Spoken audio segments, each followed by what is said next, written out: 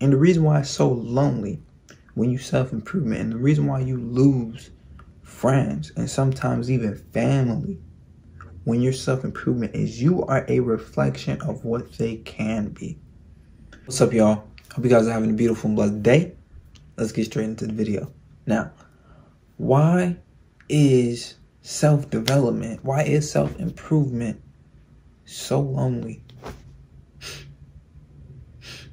Why, when you are focusing on your, yourself and uh, the five categories of self improvement, I define the five categories of self improvement as mental growth, spiritual growth, financial growth, and physical growth. But why are you, when you are improving yourself in these five categories or you are trying to master one of these categories, why, when you're doing that, niggas don't fuck with you? In order to understand this and to really grasp the meaning of this, you have to first realize and remember we are all reflections of each other. If I'm on my behind not doing much for my life and I see a nigga outside uh doing some push-ups or some shit, right? I'm gonna be like, damn, why ain't I doing some push-ups or something?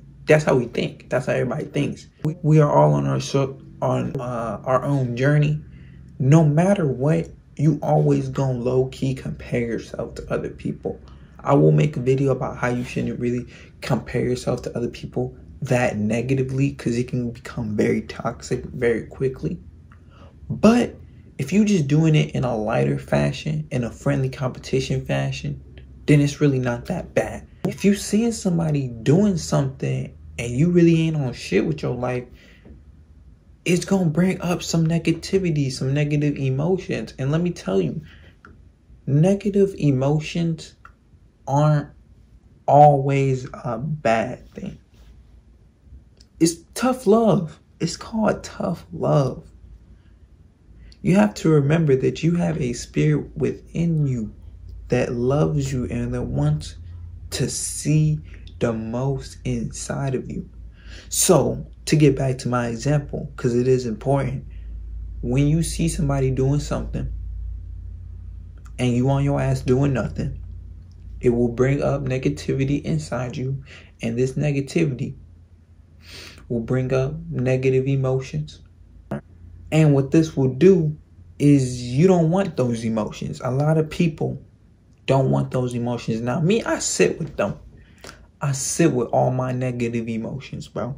I sit with them motherfuckers and I learn from them. That's what you gotta do. You gotta be different from other motherfuckers. You have to learn from them. If you have a negative emotion, don't just flip on the TV. Don't just flip on the TikTok. Don't just go on Instagram. Don't just go on YouTube. Meditate on it. Why is this making you feel this way? And the reason why it's so lonely when you self improvement and the reason why you lose friends and sometimes even family when your self improvement is you are a reflection of what they can be. When they see you, they are comparing themselves to you. And since they're comparing themselves to you, this is bringing them negative emotions within themselves because they know intuitively, damn, I could be on the same shit this nigga on. All I got to do is work a little harder, but they don't want to work a little harder. They don't want to do what they got to do. So the easiest thing for them to do, see, see, they can see you get inspired by you work out, do what they got to do. And that's what I do with many of these people. I saw somebody who 19, I'm 19, my age. He got he got a million dollars. He has a million dollar portfolio, bro. And he got like 300k subscribers on YouTube. See, I could do two things with that info. I can do two things. I could be like, damn, man, fuck this nigga. Dislike his videos, say some negative shit under his videos, and just see that shit just so disgusting to me even thinking about it. But just bring out negativity. Or I could subscribe to him, see what he on, see what his game like, see where his head is at, and try to mirror that into my life the best that I can and put some aspects of him inside of myself because we are all reflections of each other. You could do two things. I could do two things. What did I do? Of course, I did the positive thing and I subscribed to him. I wanted to see where his head is at. I wanted to see what he's thinking. So people take the easy way out a lot of the times. And a lot of people, they don't want to do the hard work. So they're going to cut you off and they're not going to talk to you. And that's just how it is. Because every single thing that has happened to me through high school, every single thing that has happened to me through middle school, they're still within me. They haven't left me. I've just improved myself. I looked at the past. I looked at the negativity of my life. And I flipped it into a positive. I decided that instead of looking at the negativity in my life and being like, damn, that sucks, I'm going to be like, damn, that's kind of cool. I went through all this bullshit and it made me a better person. It contributed to my chief definite aim. You will always be at the same spot until you start taking responsibility. With great power comes responsibility. They don't say that shit in Spider Man for no reason. They don't say that shit in Spider Man for no goddamn reason.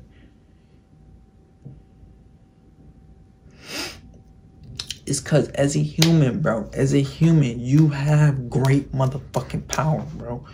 You can literally create any life you want. But with great power, once again, comes great responsibility. And you have to realize that in order to get that great power of manifestation, of creating your own reality, of mastering, you know, self development and improving yourself, you have to take responsibility for yourself. A lot of people don't want to do this. A lot of people may cut you off because you are taking responsibility for yourself and they don't want to take responsibility for themselves. A lot of people are fat because they blame it on genetics. Nigga, if you ran every day, you want to be fat. Keep it G real. You you ran a mile as hard as you could every day, you wouldn't be fat no more. Period. Period. See, think about think about it like this. Say you're 300 pounds over, and you have a friend who's 300 pounds over. Now, you decide, I don't want to be big anymore. And you run every day. You run a mile or two every day for a year. Now you now you 150 and your friend still 300 pounds still sitting on his ass still saying i'm big boned what what do you think he's still gonna be homies with you really you really got to think about this shit. We are all reflections of each other. So he just see you self improve. He just see you do th- things. Now in his mind, he got two ways to go. He's got two roads to go.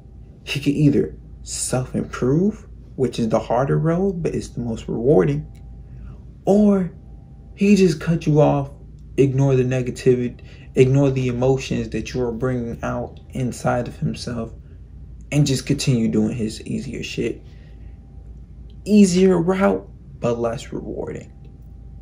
I understand, trust me, you're not pushing this question on nobody, but this is what happens. This is the question that their higher self is asking them that they are getting subconsciously.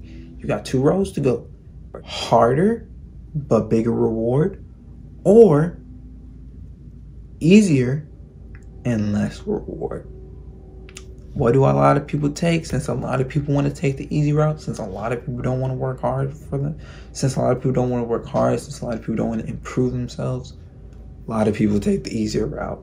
And that's why, my friend, you have no friends. the best thing to do is really just keep focusing on yourself, keep doing what the fuck you gotta do, and you just finna naturally attract people in your life who are more into the shit you into. So if you're playing video games all day, you're gonna attract people in your life who play video games all day. If you uh, work out, or if you're into finance, or if you're um, you know into spirituality, you're gonna attract people who are into those things. So if you debating on whether or not to improve yourself because you don't want to lose friends, do you 100% do you focus on yourself because you never know when one door closes another one opens so while you're closing this door you gotta hold people who resonate more with you. But since you're so afraid of closing this door, you you can't open the next one.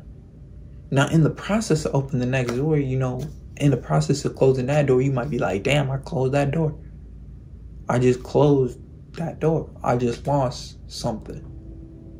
But you need to focus on you know yourself and you need to focus on having an abundance mindset. And you need to remember that you will gain something at the end of the day. And that when you open that door you might have people there who resonate more with what the fuck you doing with your life. You know what i'm saying? Don't have people around you who don't want to improve themselves. Don't have people around you who have pessim- who have pessimistic and negative mindsets about life in general you know what I'm saying? Do do I hang? I don't hang around niggas who who uh, always complain about the plight of being a black person. Now I will recognize there's plights in being a black person. I recognize more than half of these niggas out here because I actually do, you know, study black history and all that, but we're not gonna get into that in this video.